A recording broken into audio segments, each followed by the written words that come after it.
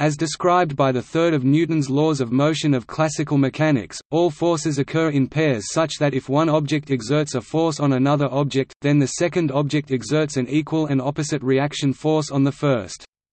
The third law is also more generally stated as, "...to every action there is always opposed an equal reaction, or the mutual actions of two bodies upon each other are always equal, and directed to contrary parts." The attribution of which of the two forces is the action and which is the reaction is arbitrary. Either of the two can be considered the action, while the other is its associated reaction.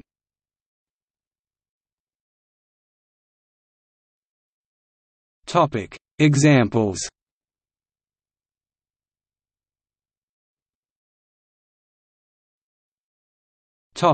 Interaction with ground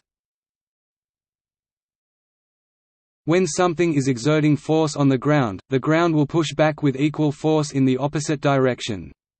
In certain fields of applied physics, such as biomechanics, this force by the ground is called ground reaction force. The force by the object on the ground is viewed as the action.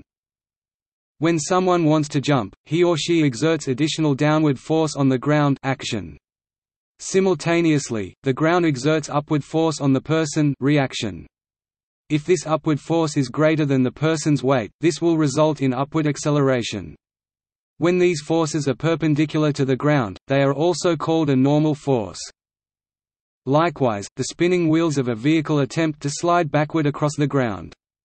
If the ground is not too slippery, this results in a pair of friction forces, the action by the wheel on the ground in backward direction, and the reaction by the ground on the wheel in forward direction. This forward force propels the vehicle. Topic: Gravitational forces. The Earth, among other planets, orbits the Sun because the Sun exerts a gravitational pull that acts as a centripetal force, holding the Earth to it, which would otherwise go shooting off into space.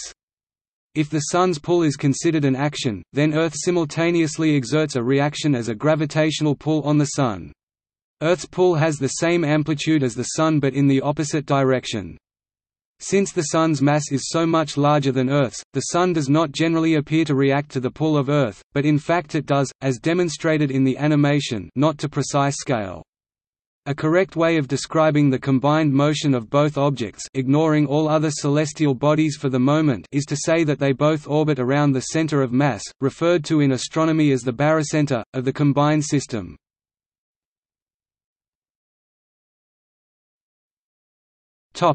Supported mass Any mass on Earth is pulled down by the gravitational force of the Earth, this force is also called its weight. The corresponding reaction is the gravitational force that mass exerts on the planet. If the object is supported so that it remains at rest, for instance by a cable from which it is hanging, or by a surface underneath, or by a liquid on which it is floating, there is also a support force in upward direction tension force, normal force, buoyant force, respectively. This support force is an equal and opposite force. We know this not because of Newton's third law, but because the object remains at rest, so that the forces must be balanced. To this support force there is also a reaction, the object pulls down on the supporting cable, or pushes down on the supporting surface or liquid. In this case, there are therefore four forces of equal magnitude F1 – gravitational force by Earth on object downward F2 gravitational force by object on Earth upward. F3 force by support on object upward. F4 force by object on support downward. Forces F1 and F2 are equal due of Newton's third law. The same is true for forces F3 and F4 Forces F1 and F3 are equal if and only if the object is in equilibrium, and no other forces are applied, this has nothing to do with Newton's third law.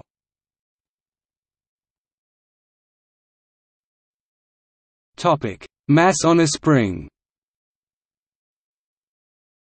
If a mass is hanging from a spring, the same considerations apply as before. However, if this system is then perturbed e.g., the mass is given a slight kick upwards or downwards, say, the mass starts to oscillate up and down. Because of these accelerations and subsequent decelerations, we conclude from Newton's second law that a net force is responsible for the observed change in velocity. The gravitational force pulling down on the mass is no longer equal to the upward elastic force of the spring. In the terminology of the previous section, F1 and F3 are no longer equal. However, it is still true that F1 Topic F2 and F3 F4, as this is required by Newton's third law.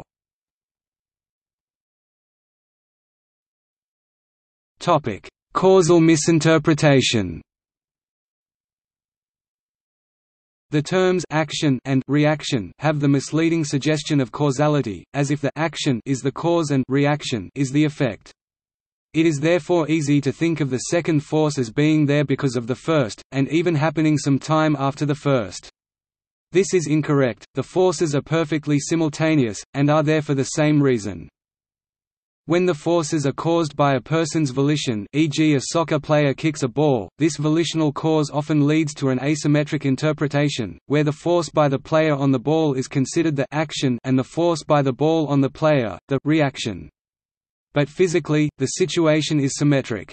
The forces on ball and player are both explained by their nearness, which results in a pair of contact forces ultimately due to electric repulsion. That this nearness is caused by a decision of the player has no bearing on the physical analysis. As far as the physics is concerned, the labels action and reaction can be flipped.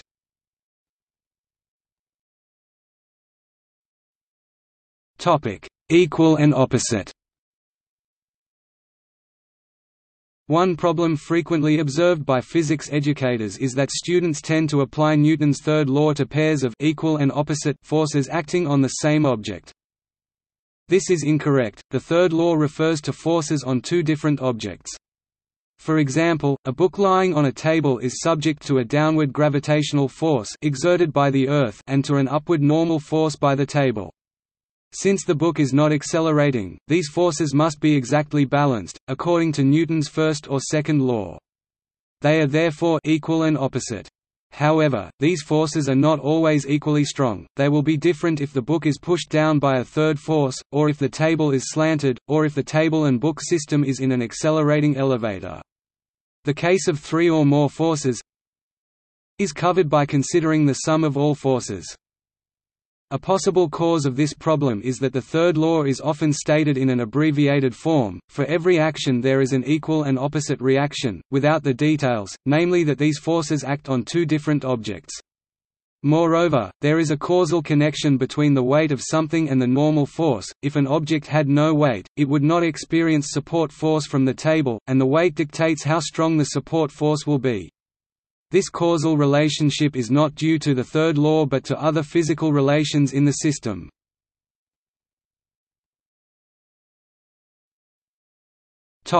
Centripetal and centrifugal force Another common mistake is to state that the centrifugal force that an object experiences is the reaction to the centripetal force on that object. If an object were simultaneously subject to both a centripetal force and an equal and opposite centrifugal force, the resultant force would vanish and the object could not experience a circular motion.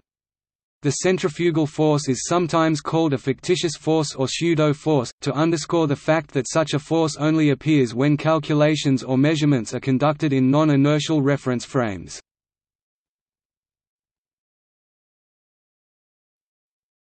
Topic: See also. Ground reaction force. Reactive centrifugal force. Isaac Newton. Ibn Bajjah Reaction engine – jet engine